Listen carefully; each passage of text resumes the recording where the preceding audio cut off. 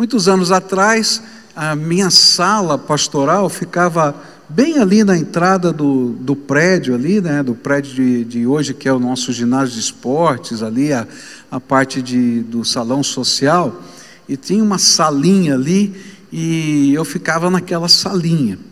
E não tinha plantão pastoral, eu que fazia o plantão pastoral, então eu vinha, ficava ali nos horários, anunciava os horários, algumas pessoas eram agendadas, outras vinham para conversar com o pastor. E eu me lembro que chegou uma pessoa, procurou lá a recepção, a recepção ficava lá também, e disse: Olha, eu queria falar com o pastor. Ele falou: Não tem problema, o pastor está aqui, me encaminhou para a minha sala. E quando chegou lá, eu perguntei para aquele senhor: O que, que eu posso ajudar? Ele falou assim: Olha, pastor, eu vim aqui para o senhor me ensinar uma oração poderosa. E aí eu falei assim: Não entendi, o que, que você quer dizer com isso? Sabe, pastor, eu estou vivendo uma situação muito complicada, estou endividado, enrolado, e eu preciso de uma oração poderosa. E eu falei, eu ainda não entendi. O que, que você quer dizer com oração poderosa? Ele disse assim, pastor, a gente vê no jornal oração poderosa para isso, oração poderosa para aquilo, oração, me ensina uma dessas. E aí eu pude conversar com ele sobre o que significa orar que o poder vem da graça de Deus em Cristo Jesus, que não está nas nossas palavras, mas está na nossa comunhão com o Senhor. E nesse contexto, eu olhei para esse texto que a gente vai estudar aqui e queria olhar para aquilo que Jesus vai ensinar nesse texto. E nesse texto nós vamos aprender através de dois contrastes que Jesus faz é, qual é o tipo de oração que pode se tornar eficaz na nossa vida?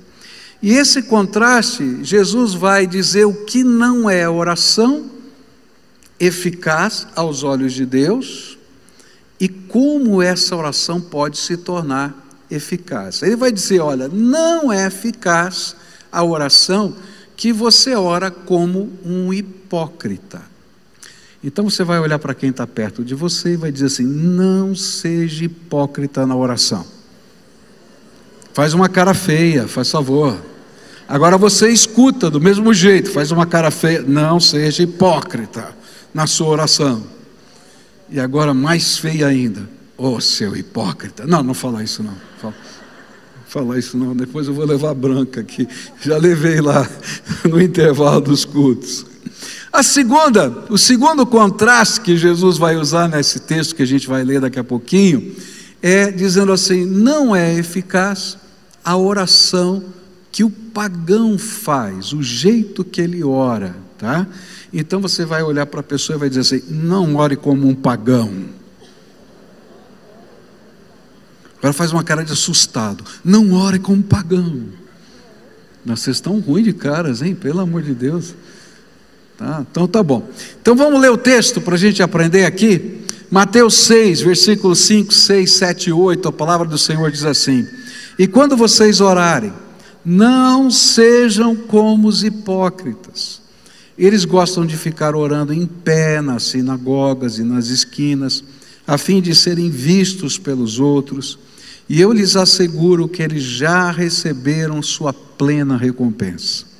Mas quando você orar, Vá para o seu quarto, feche a porta e ore a seu pai que está em secreto. Então seu pai que vê em secreto o recompensará. E quando orarem, não fiquem sempre repetindo a mesma coisa, como fazem os pagãos. Eles pensam que por muito falarem serão ouvidos. Não sejam iguais a eles, porque o seu pai sabe do que vocês precisam antes mesmo de o pedirem. Então, primeiro contraste: não ore como um hipócrita. As palavras de Jesus aqui, que nós acabamos de ler, não tem a ver com estar em pé ou orar em voz alta, porque Jesus mesmo orou em pé e em voz alta, especialmente quando da ressurreição de Lázaro e em várias outras circunstâncias das Escrituras. O que está em foco aqui é a motivação do que nos leva a orar. O que faz uma oração ser hipócrita diante de Deus? É a motivação da gente. Quando ele cita aqui os escribas e fariseus em suas orações, ele estava mostrando a motivação hipócrita que os levava a orar. Eles não desejavam intimidade com Deus. Eles simplesmente queriam ser notados como pessoas espirituais e religiosamente destacadas das outras pessoas. Por isso, esse tipo de oração não seria atendido pelo Pai, porque ela era hipócrita, não buscava Deus, buscava notoriedade, ser reconhecido como uma pessoa espiritual. Mas que tipo de motivação então Deus aceita? Porque o Senhor Jesus está condenando um tipo, mas está mostrando algumas coisas que são valiosas para a nossa vida de oração. Então a primeira coisa que ele vai mostrar é que a oração que Deus está buscando da gente é uma oração que revela a nosso desejo de ter intimidade com o Senhor. E ele vai colocar isso no formato quando ele diz assim: vá para o seu quarto. Por quê? Porque o quarto é o lugar onde reservamos para nossa intimidade. É no quarto que a gente troca de roupa e a gente fecha a porta do quarto, não é? É no quarto que a gente tem os momentos mais íntimos com uma pessoa amada. É no quarto que a gente se revela, se desnuda, vive a intimidade. E é essa ideia que o Senhor Jesus queria que a gente tivesse é, diante de nós. Por isso ele mandou que nós fôssemos para o quarto, pois a nossa motivação deveria ser um desejo ardente de experimentar no íntimo do ser a presença gloriosa do Senhor na nossa vida. Essa é a oração que Deus tem alegria de ouvir. Quando a gente deseja intimidade com o Senhor, a gente quer conhecê-lo profundamente. A gente não está fazendo isso para que as pessoas digam, olha como ele é espiritual, olha como ele é um bom crente. Não, ele está lá buscando a presença do Senhor com todo o ardor da sua alma. Você já sabe, eu já contei isso para você inúmeras vezes, você já deve ter até cansado de ouvir, mas para mim é tão importante na minha vida, a grande diferença na minha caminhada de fé. Foi quando um dia eu ouvi um jovem dizendo que Deus falava com ele, e isso mexeu com a minha cabeça. Eu achei que o homem era maluco, era doido, ouvia vozes. Mas quando eu cheguei na minha casa, eu só tinha 12 anos de idade, eu disse: se Deus pode falar com o ser humano, eu quero conhecer esse Deus que fala. E aí, sem saber né, que Jesus ensinava que a gente tinha que entrar no quarto, fechar a porta para ter essa intimidade. Eu entrei no meu quarto, fechei a porta, me ajoelhei na presença dele, porque eu queria ouvir a voz dele. E eu fiz isso simplesmente porque os meus irmãos estavam assistindo televisão, a minha mãe estava cozinhando o jantar, e eu podia ficar quietinho e ter um encontro pessoal com o Senhor. O que Deus está buscando na nossa vida é esse desejo ardente de se encontrar com Ele. Quando Ele encontra pessoas que desejam ardentemente encontrar-se com Ele, Ele se revela a essas pessoas. E aí a oração deixa de ser um monólogo na presença de Deus e passa a ser um diálogo onde as coisas extraordinárias de Deus começam a ser reveladas, e a gente vai descobrir coisas tremendas. Foi ali, naquela intimidade com Deus, que eu tive as maiores experiências espirituais com o poder do Espírito Santo na minha vida, com a manifestação de dons na minha vida. Foi ali no meu quarto, não foi na presença das pessoas, foi ali na presença do Senhor em que recebi do Senhor ensino, discernimento para a minha vida. Eu me lembro que quando nós estávamos para recebermos o convite dessa igreja para pastorear, havia muita coisa em jogo naquele tempo. Naquele tempo é, havia um certo conforto para nós, porque nós morávamos no nono andar de um prédio, meu sogro e minha sogra moravam no quinto andar. Eles moravam no quinto andar. Então, se a gente precisava fazer uma visita, fazer qualquer coisa, pegava o interfone e dizia: Olha, dá para você olhar aqui as crianças. E aí um subia ou desciam as crianças, era tão rápido, tão fácil. Sem contar as vezes que o meu sogro deixava o chinelo na sala deixava a minha sogra sozinha e escondido subia para o nono andar para ver os netos. E de repente ligava a minha sogra: O Zé está aí. Eu dizia: Tá. Eu não entendia. Ela dizia: Fugiu daqui só para não brigar com ele, que toda hora ele sobe. Então havia muita coisa em jogo. Eu estava naquela época fazendo é, um curso de psicologia e representava trancar, ou melhor, cancelar minha matrícula, porque eu estava no primeiro ano do curso de psicologia.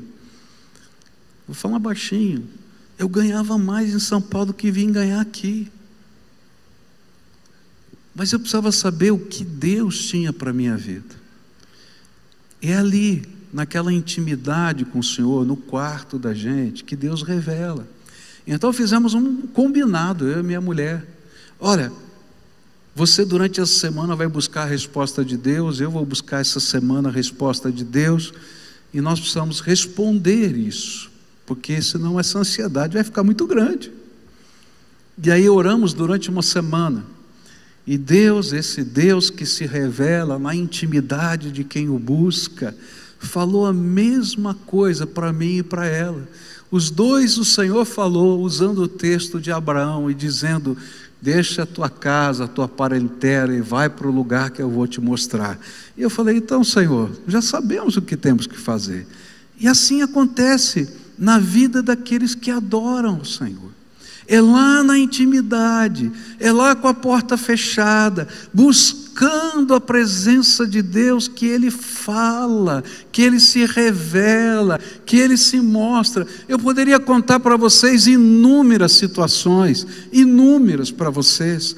O lugar onde nós estamos, nós conseguimos, pela graça de Deus, terminar essa construção no dia 14 de maio, não é? De 2014, não é? E a gente ficou feliz da vida, mas sabe, tudo isso foi um processo na oração. A gente sabia que precisava de 15 milhões de reais para terminar essa obra. Não havia como terminar se a gente não tivesse esse dinheiro. E aí, em oração, o Senhor falou para eu procurar um empréstimo.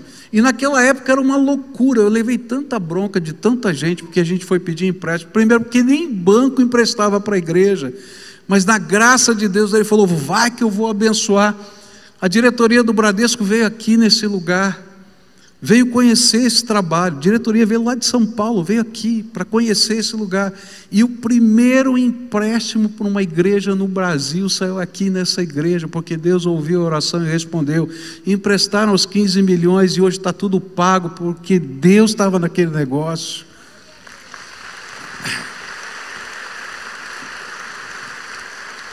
O que eu quero dizer para você é que lá na intimidade com Deus ele se revela. E eu poderia continuar contando histórias para você, mas o mais importante não são as histórias, é o princípio. O princípio é: o Senhor está nos ensinando a orar. Ele diz: Você quer me conhecer? Então faz da oração a busca de intimidade comigo. Marca o um encontro com Jesus. Talvez o que eu mais fale aqui no final dos cultos, nos apelos, é isso: olha, você quer aprender alguma coisa de Deus? Marca um encontro com Jesus todo dia. Marca o um encontro com Jesus todo dia. A hora e o lugar não importa. Ele fala do quarto, mas na minha vida já foi o meu quarto, na minha vida já foi o meu carro, porque às vezes, quando as crianças eram pequenas, eu não conseguia no quarto, era uma bagunça tão grande. Então eu descia para minha garagem antes de ir para qualquer lugar, e lá dentro do carro, na garagem, eu fazia meu tempo de oração. O lugar não é o mais importante, o, o, princípio é importante. Você quer conhecer o poder de Deus na tua vida? Tenha intimidade com o Senhor. Marque encontros com Ele todo dia.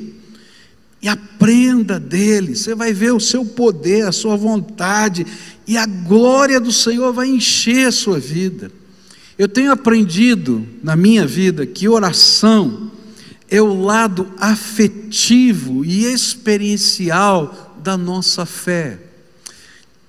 Com a Bíblia, eu entendo a palavra e creio nas promessas de Deus.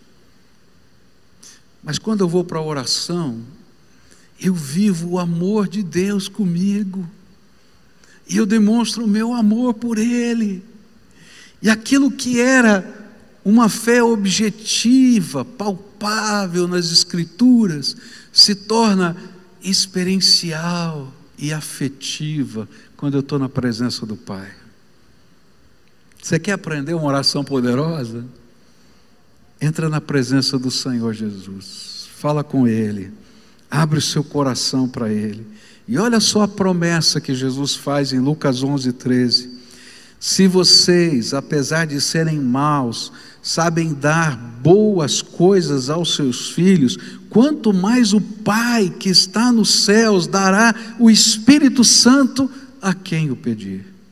É nessa busca da intimidade com o Senhor que nós somos revestidos pelo Espírito Santo.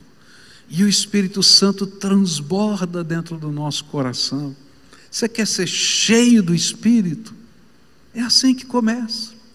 Às vezes a gente imagina que ser cheio do Espírito é um processo em que a minha força de vontade vai determinar o abandono dos meus pecados. Mas você vai descobrir na tua vida que a sua força de vontade nunca te libertou de nenhum pecado, a vida inteira. Sabe, a santificação é um ato da graça de Deus, onde o Espírito Santo entra dentro de nós derrama graça poderosa e transforma o nosso coração. É ali que a santificação acontece, na presença do Senhor. Eu sei o que tem que fazer na palavra, mas o poder para fazer o que está na palavra vem do Espírito Santo, que age na minha vida nessa intimidade com o Senhor Jesus.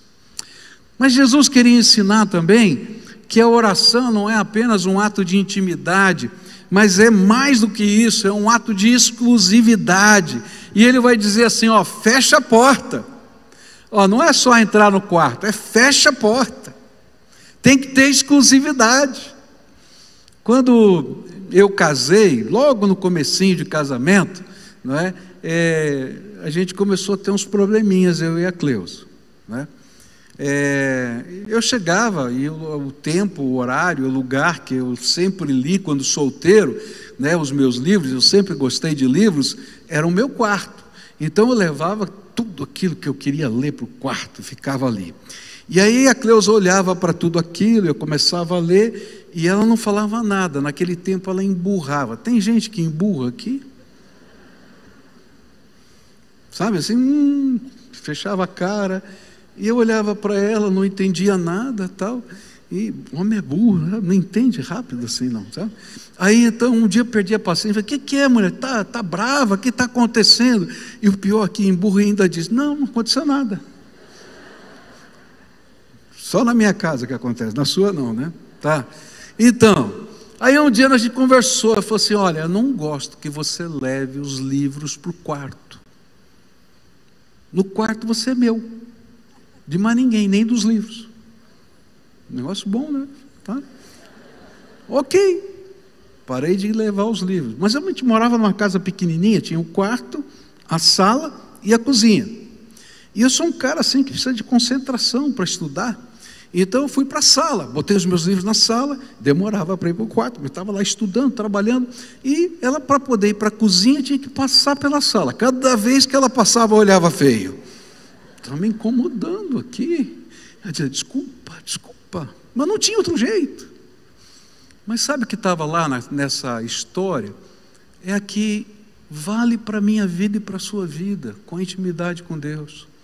Deus quer exclusividade, por isso ele diz: fecha a porta. Eu não sei se você é ansioso, né? eu não sou uma pessoa preocupada, normalmente eu não perco o sono por isso, mas eu tenho um problema de ansiedade no sentido que a minha mente fica acelerada e eu começo a pensar num monte de coisa. Só eu, né? Não? Fica um monte de coisa, né? E o pior é que agora tem celular. E quando faz aquele barulhinho de celular, você já diz assim: hum, e agora? O que, que veio? Né? E, e você está bem na hora da oração. Aí fica aquela tentação: olho, não olho, olho, não olho, olho, olho. Aí pronto, acabou. Aí você já responde, já faz. E a oração? Por isso que Jesus está falando de fechar a porta. Se você quer ter intimidade com Deus, tem que desligar o telefone. Se você quer ter intimidade com Deus, tem que ter privacidade, exclusividade. Esse é meu tempo na tua presença, é minha oferta de adoração, é meu sacrifício de louvor, como está lá em Hebreus. É o meu momento na presença do Altíssimo é uma audiência com o Todo-Poderoso do universo. Você já pensou, você vai ter uma audiência com o Todo-Poderoso do universo, você fala, um minutinho, por favor, vou dar uma olhadinha aqui. No mínimo é falta de educação, para não dizer outra coisa. É disso que Jesus está falando. Se você quer viver uma oração poderosa na tua vida, então você precisa viver intimidade e exclusividade. Sabe, nessa intimidade e exclusividade, você vai aprender algumas virtudes. A primeira virtude é fé, porque você vai ouvir palavra de Deus, direção do Espírito, e você vai crer que o Senhor vai fazer. E em seguida vem coragem para dar passos de fé, para transformar isso em algo concreto no seu dia a dia mas isso tem que ser construído ali. Mas também é lá nessa intimidade que o Senhor vai te dar discernimento. Porque às vezes, no meio das pressões da vida, há coisas que parecem boas, e a gente pode entrar em ciladas, e é lá na oração que o Senhor revela e diz: opa, ó, presta atenção, isso aqui é uma cilada e você começa a ter discernimento. Queridos, tem muita gente sofrendo nessa vida porque não tem discernimento espiritual, faz negócios errados, fala coisa errada, está no lugar errado e não percebe. Mas é lá na oração que o Senhor vai revelar isso para a gente. Mas para isso, a gente vai ter que estar tá na presença do Senhor, com intimidade e exclusividade. E a consequência disso, Jesus disse: Ora, o seu pai que está em secreto, então o seu pai que vem em secreto o recompensará. E aí vem as graças de Deus derramadas sobre a nossa vida. Mas Jesus usou um segundo contraste. Eu vou passar correndo por ele porque meu tempo já acabou, tá? Que é não ore como um pagão. Então, não ore como um hipócrita. Você já aprendeu, não aprendeu? Então, olha de novo para dizer assim: não ore como hipócrita. Isso significa, né? Intimidade, exclusividade busca as respostas de Deus. Mas também tem, não ore como um pagão. O que Jesus queria dizer com isso? E quando orarem, não fiquem sempre repetindo a mesma coisa, como fazem os pagãos eles pensam que por muito falarem serão ouvidos. Não sejam iguais a eles, porque o seu pai sabe que vocês precisam antes mesmo de o pedirem. E o segundo contraste é não orar da maneira como os pagãos oravam. E a gente pode ver na Bíblia como é que os pagãos oravam. Lá em Atos 19, 34 está escrito assim: Quando, porém, reconheceram que ele era judeu, todos a uma voz gritaram por espaço de quase duas horas: Grande é Diana dos Efésios. Duas horas. Grande é Diana dos Efésios. Eles repetiam um mantra, ficavam repetindo, repetindo, repetindo. Em 1 Reis 18, verso 26, vai dizer assim: Os profetas de Baal pegaram o touro que havia sido trazido para eles e o prepararam e oraram a Baal desde a manhã até o meio-dia. E eles gritavam assim: Ó oh, Baal, responde às nossas orações. Olha, foram seis horas. Ó oh, Baal, responde às nossas orações. E ficaram dançando em volta do altar que haviam feito, porém não houve resposta. E no verso, verso 28 desse texto, vai dizer que quando chegou um determinado momento eles não viam resposta, eles começaram a se automutilar, eles começaram a se cortar enquanto diziam essas coisas. Há duas coisas que Jesus está colocando aqui. A nossa oração que funciona não é feita por repetição de palavras repetição de palavras que às vezes não tem sentido para a gente, nem por autoflagelação. Duas coisas que os pagãos faziam. A oração no meio do cristianismo, ela mudou quando vai chegando perto da Idade Média.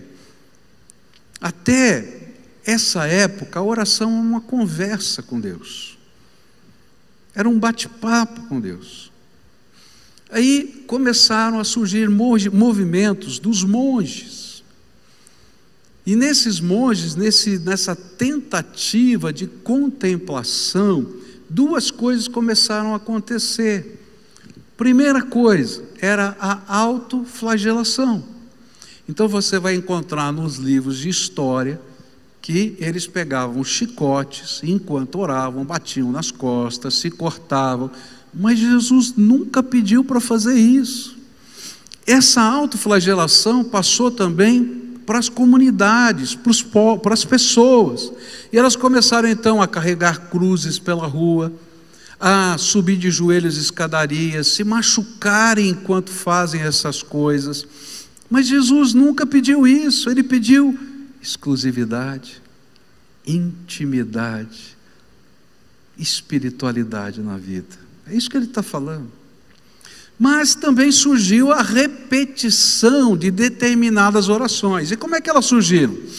Elas surgiram porque na confissão havia um segundo momento da confissão, que era o momento da penitência.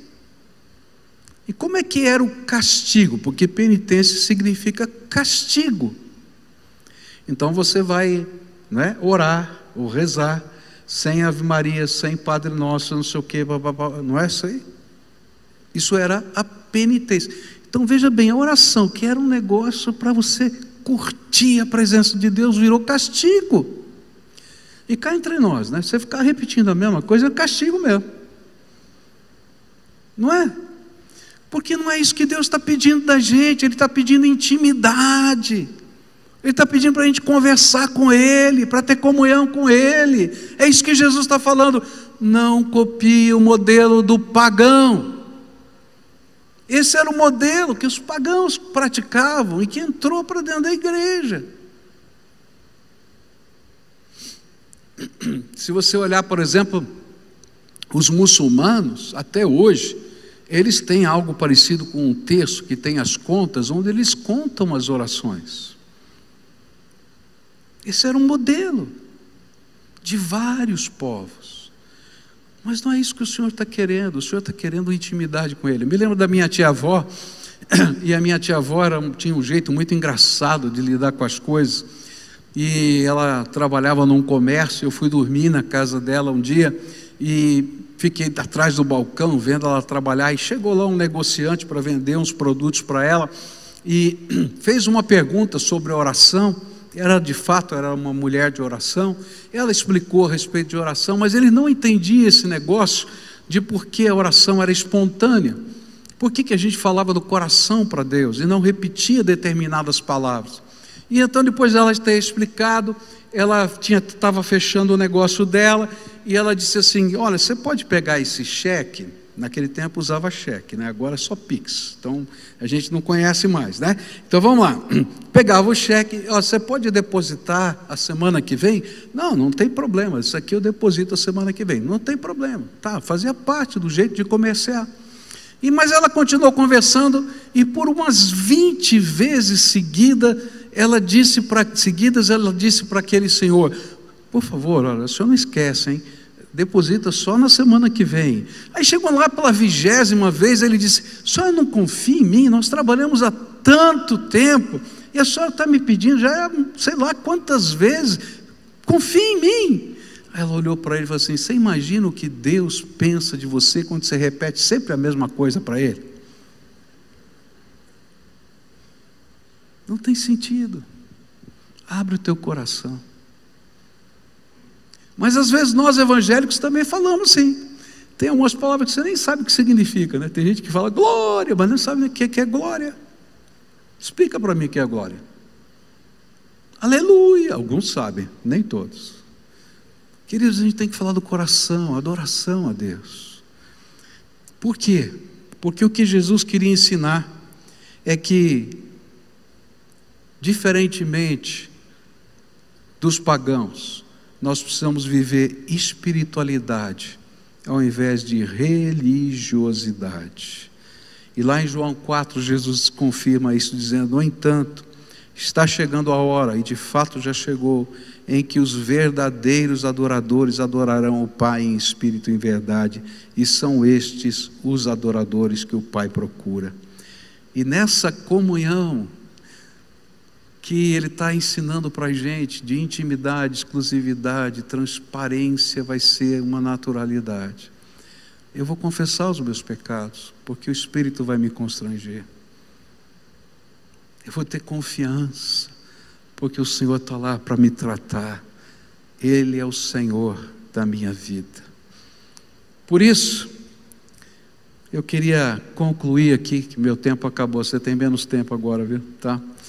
Mas eu queria concluir agora dizendo para você: está disposto a fazer um exercício de oração agora? Uma coisa gostosa na presença do Senhor. Hoje o apelo é diferente. É você com Deus. Se você esquecer de tudo mais que eu falei, que você leve para casa essa experiência na presença de Deus, de comunhão com Ele. Nós vamos ficar de pé e o coro vai cantar, tá? a partir do compasso 70. Hã? Ah, 59, me deram a dica errada então. 59. Ah, mudou. E vai ter aquele negocinho também para começar. Ah, então tá bom. Então fica de pé agora aí para a gente fazer isso. Eles vão cantar aquela música que eles já cantaram, só o finalzinho dela que é de adoração. E eu queria desafiar você a falar baixinho. Ninguém precisa ouvir o que você vai falar, porque você quer falar exclusivamente com Jesus. É da tua alma agora. E se você nunca fez isso, eu vou desafiar você a fazer uma declaração de amor para Jesus. Olha para Ele, o que Ele já fez por você, as marcas que Ele deixou na tua vida. Olha para a misericórdia, para a graça, para o poder dEle. E depois que você fizer essa declaração de amor, se você tem desejos espirituais de crescer na graça de Deus, de experimentar coisas novas do poder de Deus, fala para Ele: me visita, Senhor. Eu quero te sentir, eu quero te conhecer, eu quero andar contigo. Enquanto eles estiverem adorando, você vai orando, pode ser? Vai falando com o Senhor, vai entrando na presença. E a Bíblia diz que a gente pode ter ousadia para entrar na sala do trono, porque nós temos um sumo sacerdote, Jesus Cristo, que se compadece de nós.